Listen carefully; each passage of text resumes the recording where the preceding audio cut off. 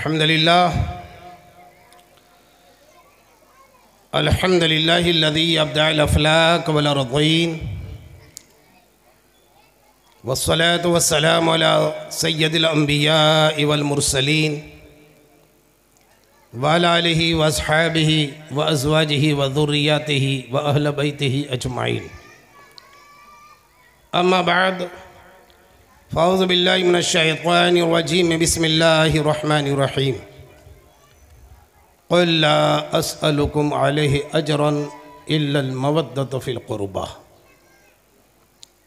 बारक लना वलकम फ़िलक़ुरानज़ीम वनफ़ाना वैयाकमिलायात वज़िक्रहकीम इन तला जवादन करीमन मलिकन बरूरफ़ुररहीम सदक़ल्लामौलानज़ीम वसदक रसोल्नबीलकरीम वनहमन शाहिदीन व शाकिरीन अलहमदिल्ला रबालमीन अदब गाहेज तजीर आसमा अज अरश नाजुकतर नफस गुम करदा मी आयत जुनेदो बायोजी दीजा ब मुस्तफ़ा बरेसा ख्वेशरा के दी हमा उस्त अगर बऊन रसीदी तमाम बूल्हा बीस्त ज़र्रे ज़र्रे से नुमाया है, मगर पिन्हा है। ज़र्रे ज़र्रे से नुमाया है, मगर पिन्हा है। मेरे महबूद तेरी पर्दा नशीनी है अजीब मेरे महबूद तेरी पर्दा नशीनी है अजीब दूरी तना के तखयल की रसाई भी महाल। दूरी तना के तखयल की रसाई भी महाल, और क़ुरबत का ये आलम के रगे जहाँ से करीब। क़ुरबत का यह आलम के रगे जहाँ से करीब। चश्म आमा में खुर्शीद दीजूर है। चश्म आमा में खुर्शीद दीजूर है। दीद साहिब दीद में नूर है।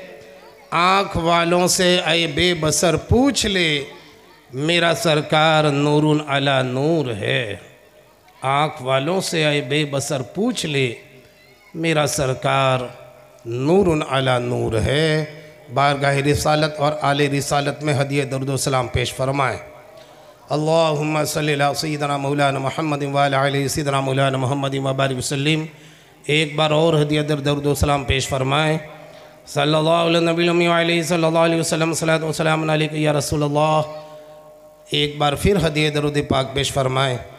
अल्लाहुम्मा सल्ली वसल्लिम वबारक अला सय्यिदना मौलाना मोहम्मद तब्बिल क़ुलूब व दवाइहा वाफ़िल अबदान व शिफ़ाइहा व नूरिल अबसार व ज़ियाइहा व अली वसाबी दाइमन अबदा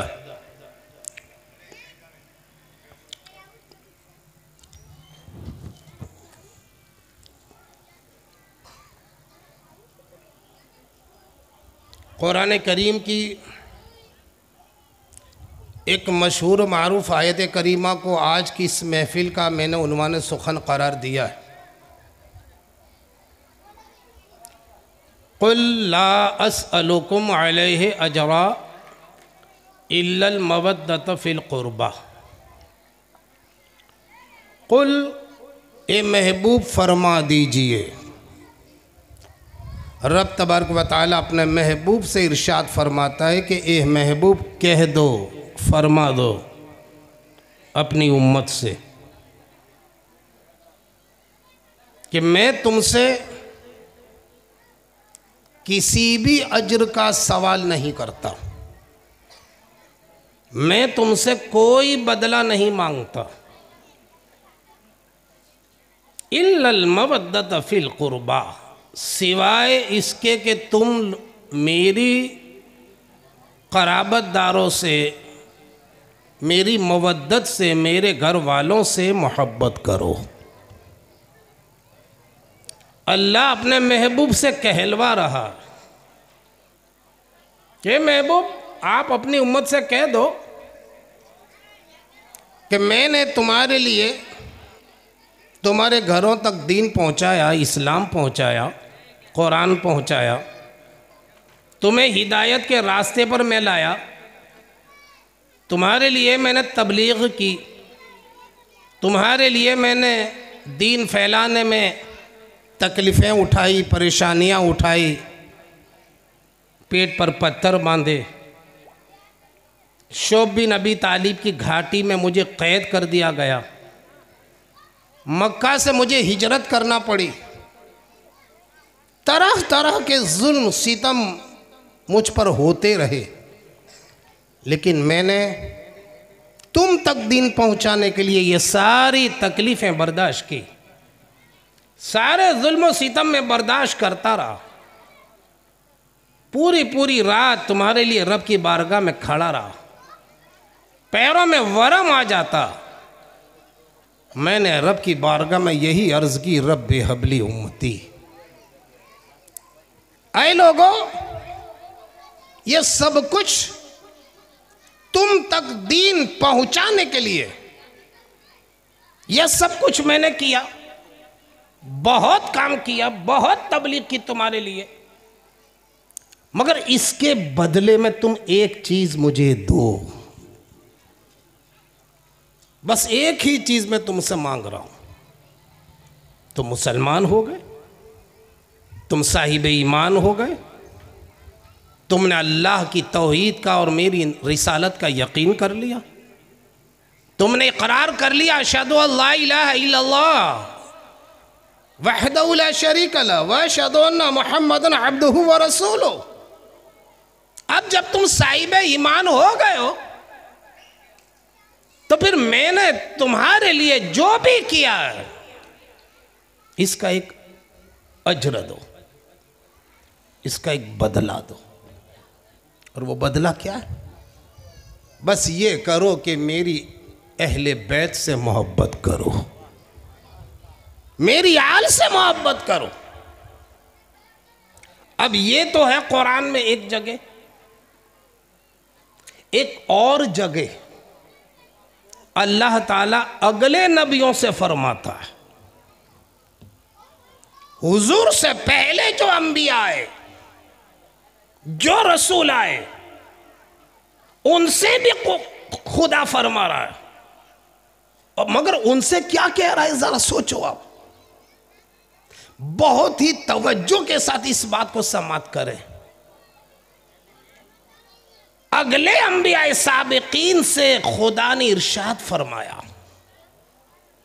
कुल्लाकुम अजरा। बात वही है। मगर कुरान ने क्या कहा? ए नबियो, ए रसूलो, तुम भी अपनी उम्मतों से कह दो कि तुम्हारे लिए हमने जो जुल्म सितम बर्दाश्त किए, तुम तक दीन पहुँचाया, इस्लाम पहुँचाया। तो ये नबियो, तुम अपने मानने वालों से ये कहो, इन अजरिया इल्ला अल्लाह हम तुमसे कुछ नहीं मांगते। हम तुमसे कोई उजरत तलब नहीं करते। हम तुमसे कोई बदला नहीं चाहते। हमें जो भी लेना है, अपने अल्लाह से ले लेंगे। ये अगले नबियों से कहलवाया खुदा ने। उनसे यह कहलवाया कि तुम अपनी उम्मतों से बदला मत मांगो। अपने मानने वालों से कोई चीज़ मत मांगो। तुमने भी जुल्म उठाए, सितम सहे ये किया, वो किया, तकलीफें उठाई। और तुम्हारी वजह से कई लोग इस्लाम में दाखिल हुए। मगर तुम इन मुसलमानों से कहो कि हम तुमसे नहीं मांगते, कोई चीज़ नहीं। हमें जो भी लेना है, इन अजरिया इल्ला अल्लाह हम अपने खुदा से ले लेंगे।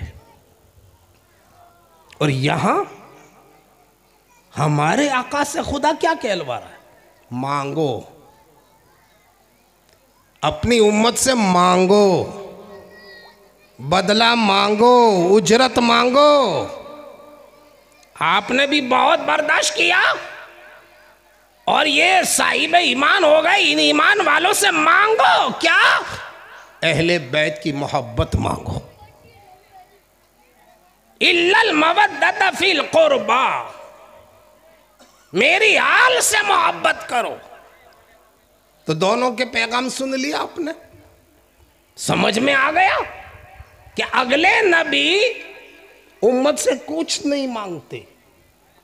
हमारे नबी उम्मत से बदला मांगते तो सवाल पैदा हुआ। मैं इसको एक मिसाल से समझाऊं। आपके घर दो मजदूर आए। आपके घर के मकान का काम किया। दोनों ने बराबर ड्यूटी अंजाम दी। दोनों ने एक ही तरह की मजदूरी की। मगर जब शाम को काम ख़त्म हुआ तो एक ने कहा, लाओ, मेरी जो भी फ़ीस है दे दो, मेरा बदला दे दो, उजरत दे दो। उसके लिए आपके दिल में कोई खोट पैदा नहीं हो भाई उसने काम किया है तो मांग रहा है। हक मांग रहा है तो दे भी दोगे। आप उसको दे दोगे। नाराज़ नहीं होंगे आप। भाई, उसने काम किया। लेकिन दूसरा मजदूर अगर ये कह दे कि साहब, रहने दो। मैंने जो भी मेहनत की है, ठीक है, ये अल्लाह के लिए कर दिया। मैं तो अल्लाह से ले लूँगा, आप मत दो। आपसे नहीं लेता।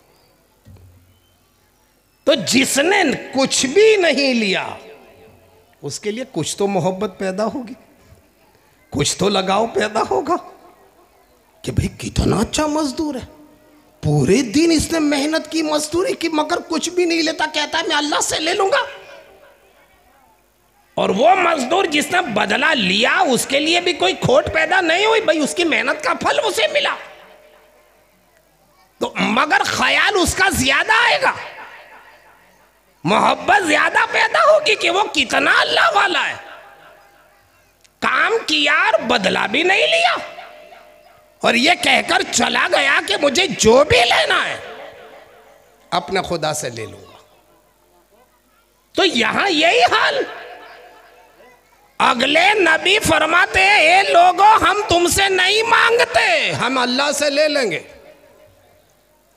और हमारा नबी हमसे मांग रहा है, उजरत तलब कर रहा है कि लाओ, बदला लाओ। तो उसकी वजह क्या? दोस्तों, पहले तो ये समझ लो कि हमारा नबी हमसे जो बदला मांग रहा है, जो उजरत तलब कर रहा है, उसमें उसका कोई फ़ायदा नहीं है। वो अपने लिए नहीं मांग रहा है। अपने फ़ायदे के लिए बदला नहीं मांग रहा है। बल्कि उस रहमतुल आलमीन की रहमत पे कुर्बान जाओ। वो बदला भी मांग रहा है तो अपने लिए नहीं। हमारे लिए बदला मांग रहा है। खुद हमें जिस बात का फ़ायदा हो हमें जिस बात का फ़ायदा वही मांग रहा है। अगर हम उसे बदला देंगे भी तो उसका कोई फ़ायदा नहीं फ़ायदा हमारा है। मेरे नबी अच्छी तरह जानते हैं कि मैं बदले में जो चीज़ मांग रहा हूँ कि मेरे हुसैन से मोहब्बत करो, हसन से मोहब्बत करो, अली से मोहब्बत करो, खातून जन्नत से मोहब्बत करो, मेरे घर वालों से मोहब्बत करो। मैं इसलिए मांग रहा हूँ कि जब तुम मेरे घर वालों से मोहब्बत रखोगे तो तुम वही मोमिन बनोगे जो मैं चाहता हूँ। तुम पक्के ईमान वाले हो जाओ। तुम पक्के ईमान वाले हो जाओगे, तुम्हारे ईमान में कोई कमज़ोरी नहीं होगी। यानी आका जो बदला मांग रहे हैं, वो हमारे लिए ही मांग रहे हैं। हमारा फ़ायदा। अच्छा फ़ायदा क्या होगा हमारा? अगर हम आका के कहने के मुताबिक अली से मोहब्बत करें, फातिमा से मोहब्बत रखें, हसनैन, करीमैन से मोहब्बत रखें तो हमारा फ़ायदा क्या? तो सुनो, इसी मोहब्बत में फ़ायदा है। इसी मोहब्बत में फ़ायदा है। मोहब्बत मैदान वफा का नाम है। मोहब्बत दिल के झुकाव का नाम है। मोहब्बत तबीयत के रुझान का नाम है। कोई ऐसे ही मोहब्बत नहीं करता। हर एक से मोहब्बत नहीं करता। पहले नज़र मिलती है, फिर दिल मुतवजह होता है। जब दिल में अकीदत पैदा होती है तो आदमी फिर मोहब्बत करने लग जाता है। और मोहब्बत का फैज़ान देखो कि आदमी जिससे भी मोहब्बत करेगा तो हमेशा ये चाहेगा कि महबूब की चाल की तरह मेरी चाल हो, महबूब की रफ्तार की तरह मेरी रफ्तार हो, महबूब की गुफ्तार की तरह मेरी गुफ्तार हो, महबूब के अमल की तरह मेरा अमल हो। महबूब की सूरत की तरह मेरे सूरत हो। महबूब की सीरत की तरह मेरे सीरत हो।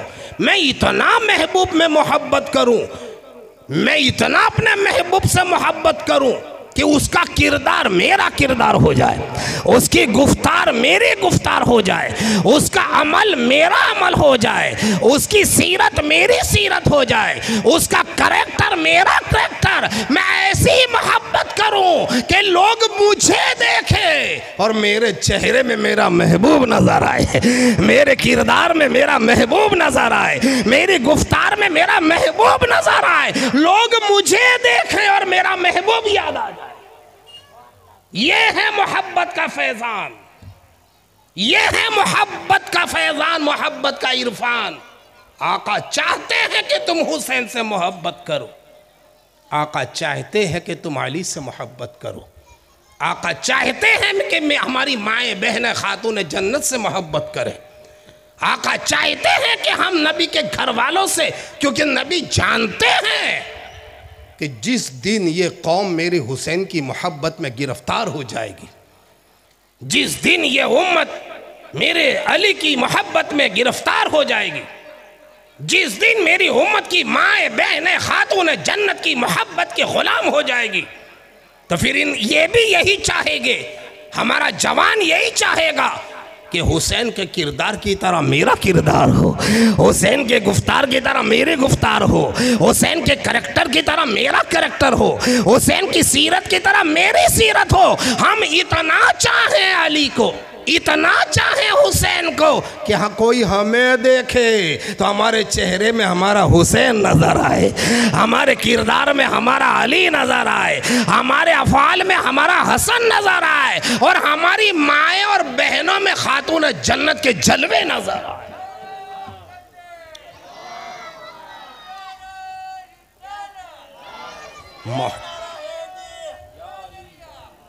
मोहब्बत या मोहब्बत का फैसान आम होता है, मोहब्बत का इरफान आम नहीं होता। नबी चाहते हैं कि तुम अहले बैत की मोहब्बत का मतवाला बना दो। मतवाला, और नबी ने क्यों कहा, हुसैन से मोहब्बत करो? नबी जानते कि मैंने अपने नवासों को संवार दिया है, अपने नवासों को मुकम्मल ट्रेनिंग दे दी है। अपने नवासों को मैंने निखार दिया है। मैंने हर वक्त नवासों को साथ में रखा। कभी कंधे पे बिठाया, कभी गोद में बिठाया, कभी साथ साथ चलाया।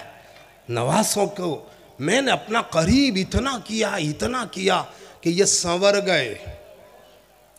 ये हुसैन सिर्फ़ दीन वाले नहीं रहे, खुद दीन हो गए। ये हुसैन सिर्फ़ मज़हब वाले नहीं रहे, खुद मज़हब हो गए। ये हुसैन खुद इस्लाम, खुद दीन। ये मैं नहीं कहता, ये गरीब नवाज़ कहते शाह हस्त हुसैन बादशाह हस्त हुसैन। दीन हुसैन दी पना हस्त हुसैन। ख्वाजा ने ऐसे ही कह दिया। कि हुसैन शाह हैं। हुसैन बादशाह है। हुसैन दीन हैं। हम दीन नहीं हम तो दीन को कबूल करने वाले हैं। हम इस्लाम नहीं हम तो इस्लाम को मानने वाले हैं। मगर ख्वाजा क्या कर? दीन हुसैन। हुसैन दीन है। हुसैन दीन की पनाह है। क्योंकि देखा कि आका ने हुसैन को दीन बना दिया। दीन बना दिया। और दीन कब बनाया? दो तीन मिसालें सुन लो। बहुत मशहूर मारूफ वाकया। वाकया सुन लेना, ये और चीज़ है। समझना ये और चीज़। आका सजदे में इमाम आली मकाम आए, बच्चे नवासा आया और पुश्ते नबी पर बैठ गया। आप समझोगे भी हर नवा नाना के साथ ऐसा होता है कि नवासा खेल रहा है, बच्चा आया पुष्प पर बैठ गया, क्या बड़ी बात? हमारे पीठ पर हमारा नवासा बैठे, ये कोई बात नहीं। नबी की पीठ पर नवासा बैठ जाए तो ये नवाजा नहीं बैठा है, ये दीन बैठा है। क्यों? नबी की हालत क्या थी उस वक्त सजदे में? देखो, सजदा बड़ा अफजल रुकन है। पूरी नमाज़ में सबसे ज़्यादा अजमत वाला रुकन सजदा। आदमी जब नमाज़ के लिए खड़ा होता है तो खुदा के करीब होता है। पर्दे हट जाते कयाम करता है और करीब होता है। रुकू करता है और खुदा के करीब होता है। और जब सजदा करता है तो कोई दूरी नहीं। सबसे ज़्यादा करीब सजदे की हालत में। तो मेरे आका सजदे में, यानी सबसे ज़्यादा करीब हालत में थे, तब हुसैन बैठे। एक तरफ़ आका खुदा की कुर्बत में, और फिर हुसैन आ गए पुष्ट पर। आका ने हुसैन का ख्याल किया। क्या कि नहीं? उड़ जाऊँगा तो गिर जाएँगे उड़ जाऊँगा तो तकलीफ़ होगी उड़ जाऊँगा तो इनकी राहत में खलल आएगा।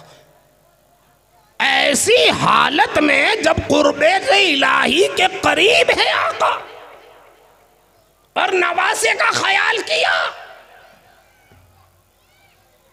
तो ये नवासे का ख्याल नहीं था। नवासा तो दुनिया है। और नबी कभी दुनिया का ख्याल नमाज़ में नहीं कर सकते। क्या नबी दुनिया का ख्याल करेंगे? तो हुसैन का ख्याल किया, यानी दुनिया का नहीं, दीन का ख्याल किया। इस्लाम का ख्याल किया। नबी ने दीन का ख्याल सजदे में किया। सर नहीं उठाया। जब तक बैठे रहे, सजदे से सर नहीं उठाया। हुसैन का ख्याल, दीन का ख्याल। इसीलिए गरीब नवाज़ कह रहे दीन अस्त हुसैन। हुसैन दीन है। और हमको भी एक सबक दिया अल्लाह के रसूल ने। ए उम्मतियों, तुम्हारे भी बच्चे तुम्हारे भी नवासे हैं, तुम्हारे भी पोते हैं, तुम्हारे घर में भी छोटे छोटे बच्चे हैं। कभी ऐसा हो मोहब्बत करो बच्चों से। बच्चों पे जुल्म न करो। बच्चों को डांटो मत। बच्चों को सही तरबियत दो। बच्चों को मारो मत। बच्चों से प्यार करो। एक फितरी जज्बा है इंसान का कि बच्चों से प्यार करता है। प्यार सब करते हैं अपने बच्चों से। हर नाना अपने नवासों से प्यार करता है। हर बाप अपने बेटे से प्यार करता है। हर माँ अपने लाल से प्यार करती है। मगर उसकी एक हद होनी चाहिए, एक इंतहा होनी चाहिए। मैं भी नवासे से प्यार करता हूँ, मैं भी बच्चों से प्यार करता हूँ, मगर तुमने देखा कि नवासा आया, मेरे सजदे की हालत में बैठा तो मेरा सजदा टूटा नहीं, मेरा सजदा खत्म नहीं हुआ। मैं कह रहा था सुबहान रब्बिल आला सुबहान रब्बिल आला। सुबहाना रब्बियल आला। हुसैन के बैठ जाने से भी तस्बीह खत्म नहीं हुई। सजदा टूटा नहीं। तो प्यार करो तो ऐसा करो कि बच्चों से प्यार भी होता रहे, सजदे की हालत भी लंबी होती रहे, तस्बीह की तादाद भी बढ़ती रहे और कुर्बत इलाही और बेहतर होती चली जाए। वो मोहब्बत मत करो बच्चों से जो नमाज़ कजा करा दे। जो तुम्हें मस्जिदों से दूर कर दे। अगर बच्चों से तुमने ऐसी मोहब्बत की कि बच्चे की वजह से नमाज़ कजा हुई? औलाद की मोहब्बत में तुमने मस्जिद को छोड़ा?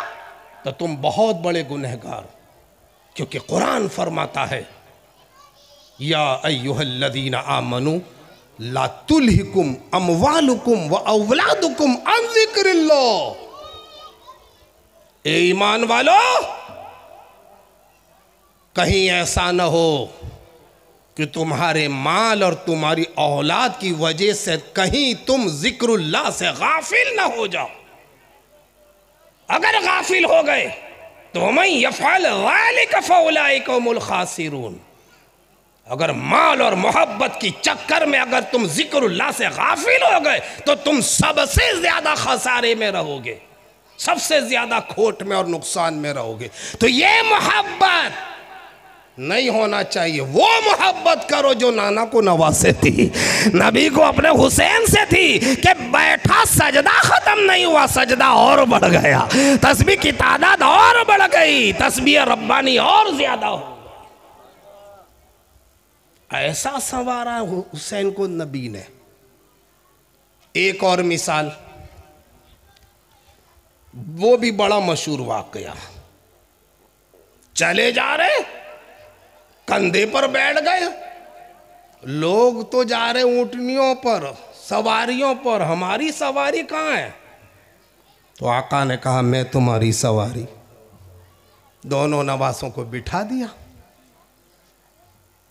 सोचो, कैसे बिठाया होगा?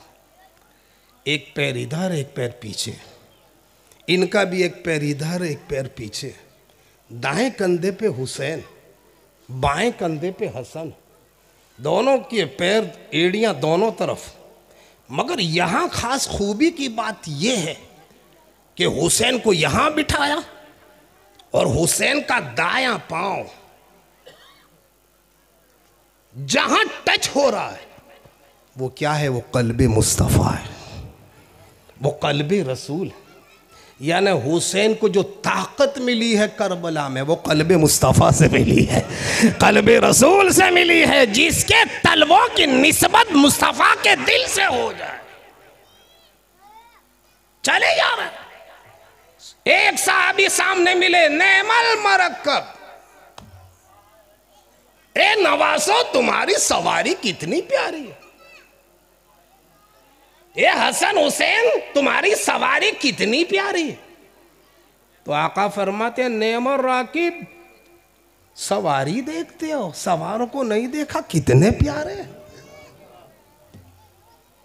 चलते चलते, हुसैन ने कहा कि लोग सवारी पे बैठते हैं तो इनके हाथों में लगाम भी होती हमारी लगाम कहाँ है?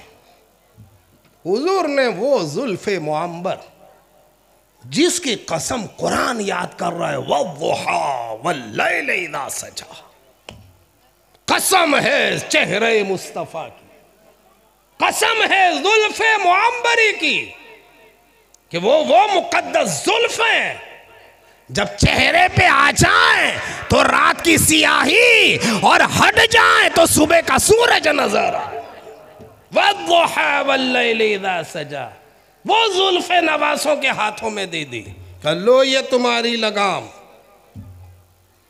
ये मत सोचना कि नाना नवासे को बहला रहे, दिलासा दे रहे, खुश कर रहे। अरे, ये नबी है। नबी का कोई काम हिकमत से खाली नहीं होता। फ़ैल हकीम ला यखलुआ हिकमा। हकीम का काम कभी हिकमत से खाली नहीं होता। सिर्फ़ अपनी जुल्फें हाथों में नहीं दी, एक सबक दिया। एक ट्रेनिंग दी अपने नवासे को, के नवासे? आज मेरी जुल्फों को मजबूती से थाम लो, मजबूती से पकड़ लो, छूटने न पाए, अच्छी तरह प्रैक्टिस कर लो। कल करबला में उम्मत की बागडोर तुम्हारे हाथों में होगी। कल करबला में उम्मत की लगाम तुम्हारे हाथ में होगी। आज की प्रैक्टिस कल काम आ जाए।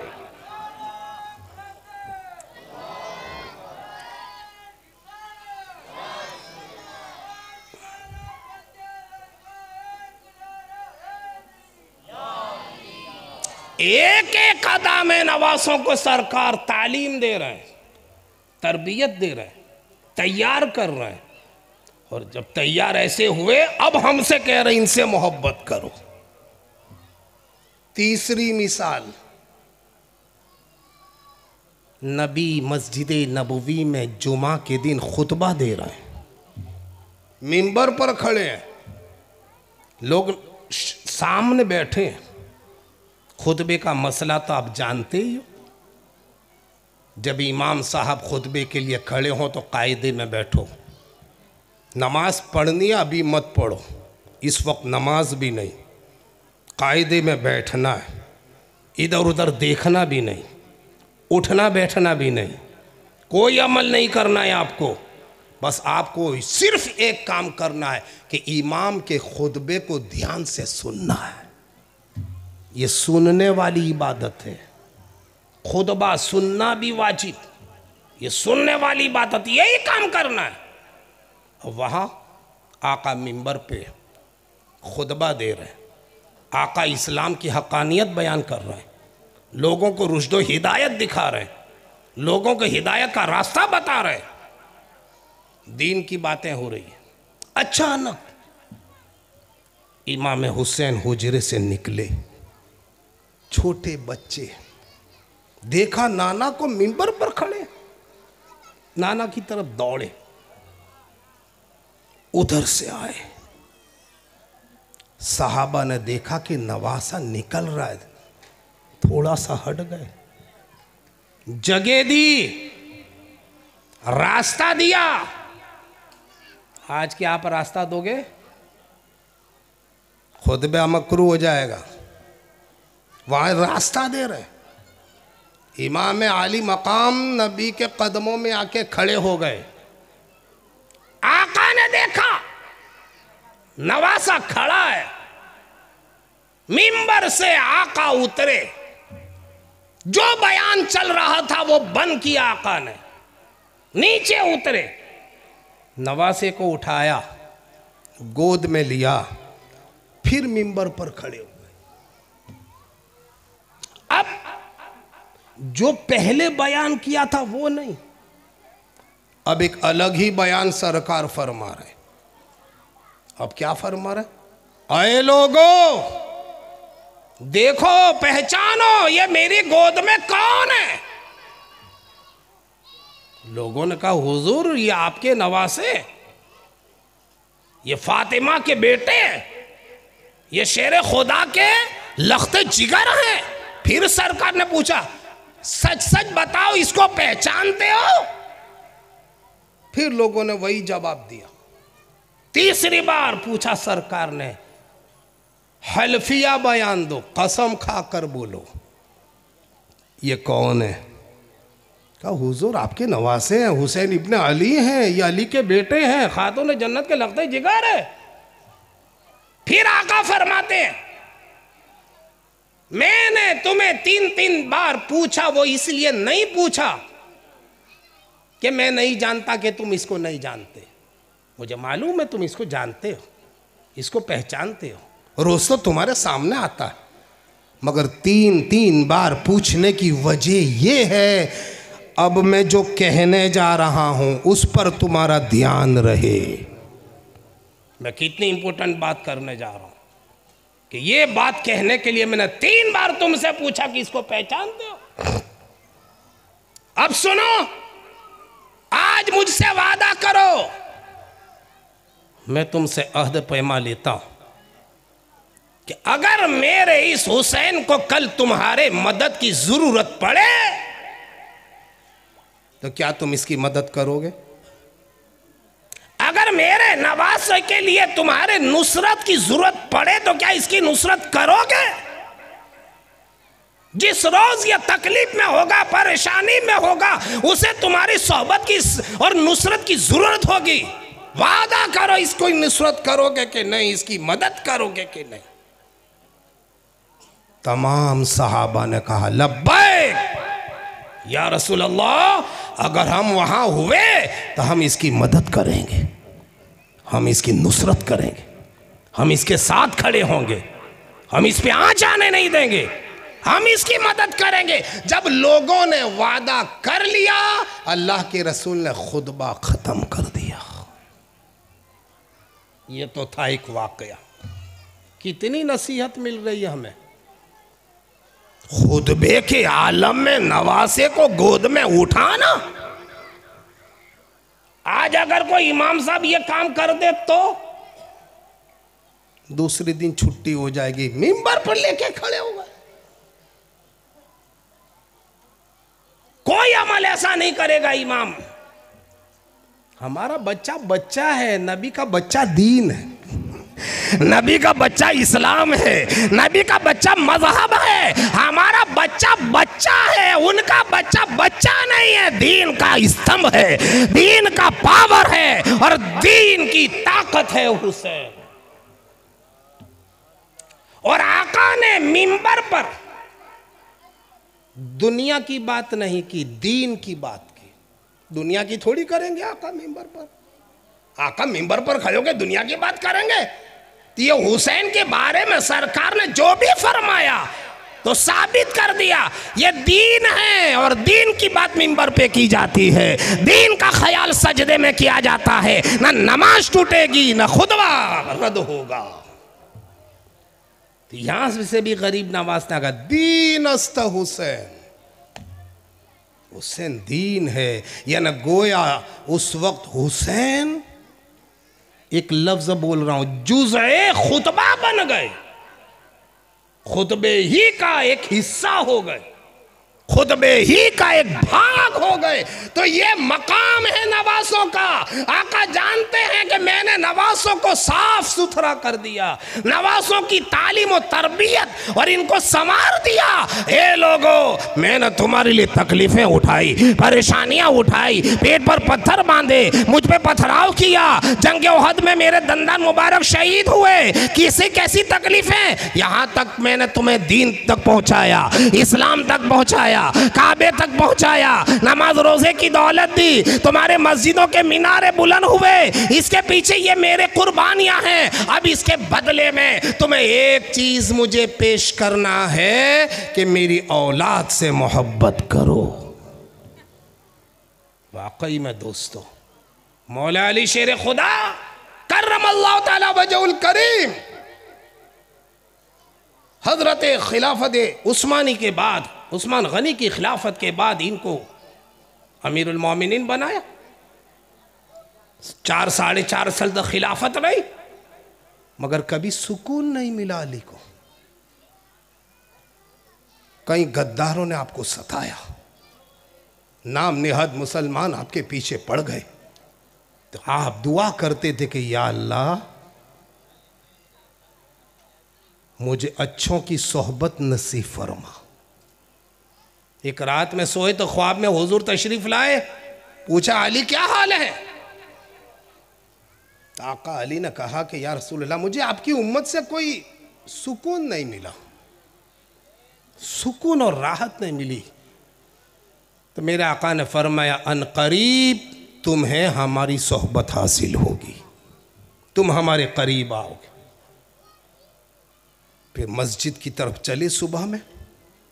आपकी आदत थी कि घर घर वालों को कहते हुए मस्जिद में जाते थे, चलो नमाज़ के लिए, चलो नमाज़ के लिए, चलो नमाज़ के लिए। आपका कातिल अब्दुल रहमान इबन मुलजिम। और इसने क्यों कत्ल किया?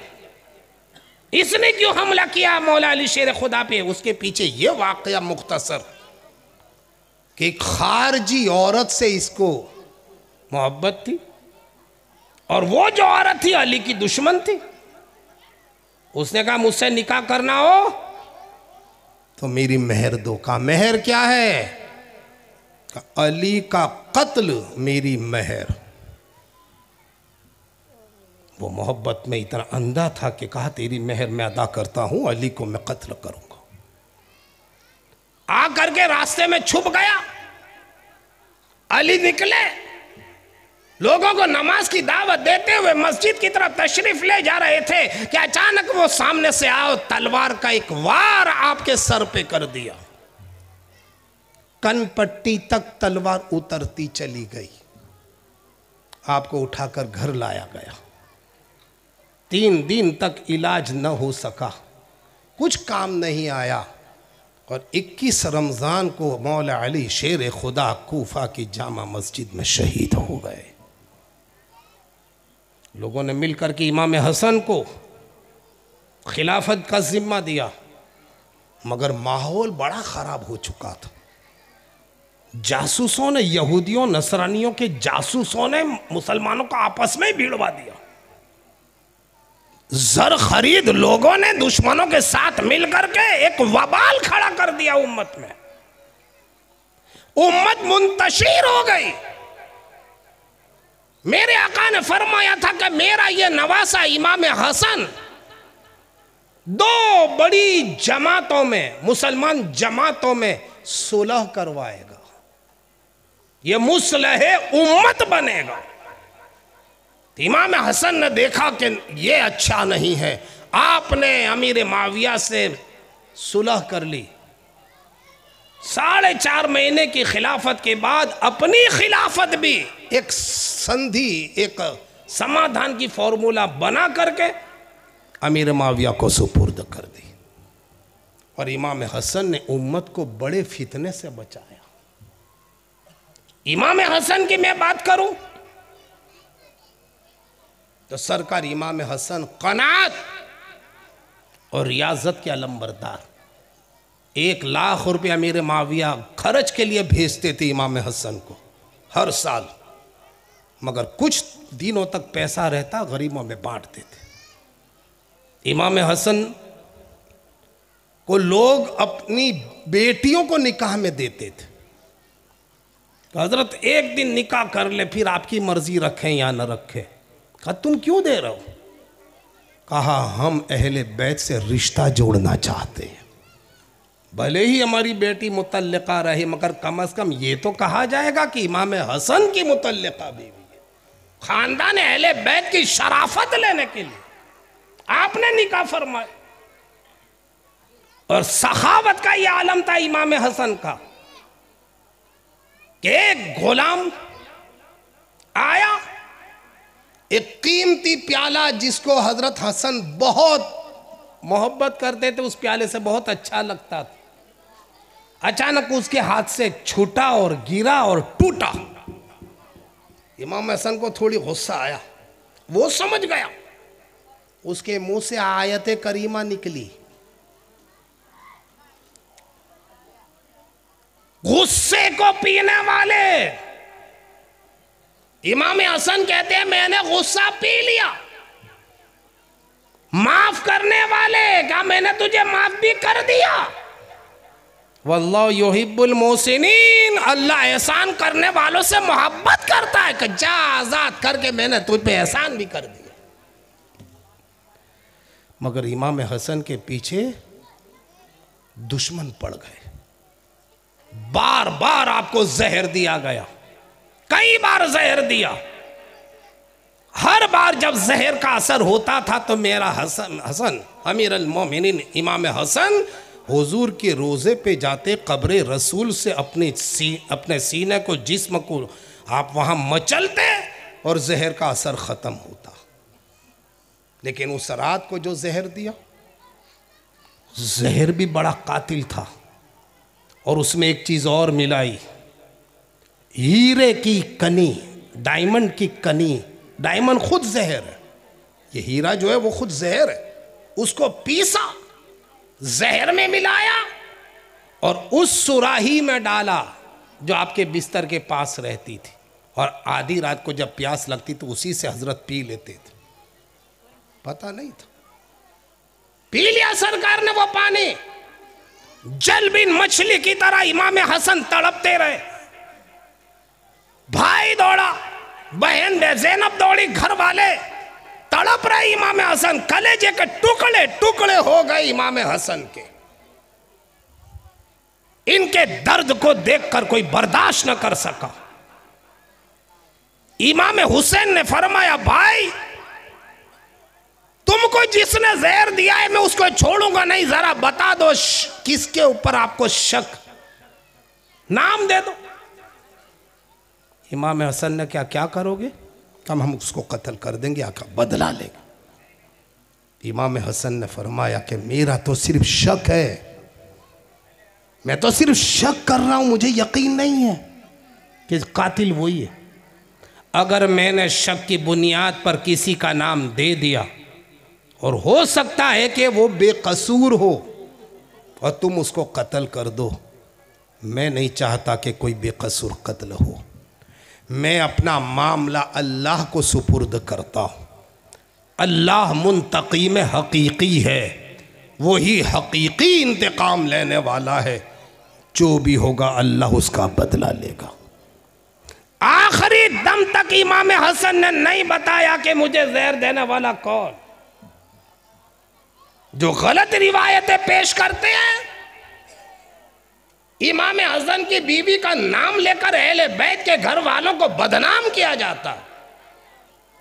जायदा बिनते अशश का नाम लेकर कहते कि इनकी बीवी ने जहर दिया, ये हमारी रिवायतें नहीं है। अहले सुन्नत वल जमात का अकीदा है कि खानदान अहले बैत पाक है, पाक था और हमेशा तक पाक रहेगा। जब कुरान ने कह दिया कि ये पाक तो ये तो सिर्फ़ इल्ज़ाम है, ये खारजियों ने ये रिवायत डाल दी है ताकि लोगों को पता चले कि इनकी घर वालियाँ कैसी होती थी। अस्तफिरुल्लाह तो इमाम हसन जिन्होंने कौम को एक किया, इंतशार से बचाया, मुसलह उम्मत बने, कत्ल हो गए, मगर कभी भी कातिल का नाम नहीं दिया। और दोनों की शहादत में यह फ़र्क है। ये शहादत खफी है। जो इमाम हसन को शहादत मिली, वो शहादत खफी है। और इमाम हुसैन को जो शहादत मिली, वो शहादत जली है। वो छुपी हुई शहादत है। ये खुली हुई शहादत है। छुपी हुई शहादत में न कातिल का पता चलता है, न मारने वाले का पता चलता है, न साजिश करने वाले का पता चलता है। और खुली हुई साजिश में पता चलता कि मारने वाला कौन है, कत्ल करने वाला कौन। इमाम हसन की शहादत शहादत खफी। इमाम हुसैन की शहादत शहादत जली। और अल्लाह ने दोनों शहादत नवासों को अता फरमाकर अल्लाह के रसूल के मकाम को बुलंद फरमाया। ये भी इंशाल्लाह अगले दिनों में मैं ये नुक्ता बयान करूँगा कि इनकी शहादत असल में नबी की शहादत। इनका मकाम असल में नबी का मकाम। उम्मत में जिसको जो मकाम मिलेगा चाहे विलायत कुतबियत शहादत सदाकत सखावत मुजद्दिदियत इल्म ऐसे ही नहीं मिलता किसी को। नबी के सदक़े में खुदा अता फरमाता इसमें नब, नबी की नबूवत का सदका होता है। कोई वली बना तो वली की विलायत दलील नबूवत होती है। कोई शहीद हुआ तो उसकी शहादत नबी की शहादत होती है। इसकी विलायत नबी की विलायत होती है। इसकी कुतबियत नबी की कुतबियत होती है। इसकी मुजद्दिदियत नबी की मुजद्दिदियत। असल नबी है। ये सब उसकी शरा है। तो इन नवासों की शहादत भी नबी की शहादत है। और वो कैसे शहादत? इन कल परसों बयान करूँगा। तो इमाम हसन, जो कौम के मुसल उम्मत थे, वो शहीद हुए। ये ख़ानदान अहले बैत, जिसने तन मन धन को कुर्बान किया और आखिरी दम तक ये कहते रहे, जो जान मांगो तो जान दे दें, जो माल मांगो तो माल दे दें, मगर ये हमसे कभी ना होगा। नबी का जाहो जलाल दे दें।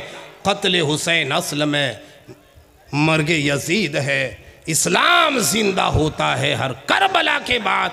वाखर दावाना अनिलहमदिल्ला रबालमीन खड़े हो जाइए, सलात